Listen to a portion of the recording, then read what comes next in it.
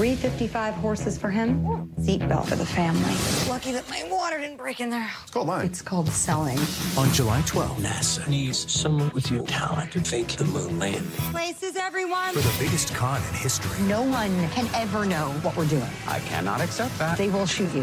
What is my budget? You need the best con artist. Senator, let me take you on the special VIP tour. He's just a wonderful peach here. You are so sweet. Yes, I am. Fly me to the moon. Rated PG 13.